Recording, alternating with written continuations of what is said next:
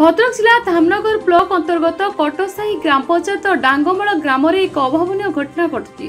সুখদেব মহালিক পনেরো বর্ষর নাবাড়িকা ঝিও বেকরে ফাঁসি লগাই আত্মহত্যা করছে কারণ অস্পষ্ট থাকবে নাবালিক ঝিও জনক হ্যাণ্ডিক্যাপ থাকা জনাযাই এ খবর প্রচার হওয়া পরে কটসাহি সরপঞ্চ সমেত সাংবাদিক সাগর পাড়ি এবং গ্রামবাসী বৃন্দ দুঃখ প্রকাশ করেছেন ବିଶେଷ ସୂଚନାରୁ ଯାହା ଜଣାପଡ଼ୁଛି ଏହା ଏକ ଅପମୃତ୍ୟୁ ଯାହାକି କେସ୍ ନମ୍ବର ପନ୍ଦର କୋଡ଼ିଏ ଧୂସୁରୀ ଥାନାରେ ଅପମୃତ୍ୟୁ ମାମଲା ରୁଜୁ କରାଯାଇଛି ପୋଲିସ ଓ ପ୍ରଶାସନ ଏହାର ନିରପେକ୍ଷ ତଦନ୍ତ ପାଇଁ ଜନସାଧାରଣ ଦାବି କରୁଛନ୍ତି ଧାମନଗରରୁ ସନ୍ତୋଷ କୁମାର ଦାସଙ୍କ ରିପୋର୍ଟ ଆଇଟିଭି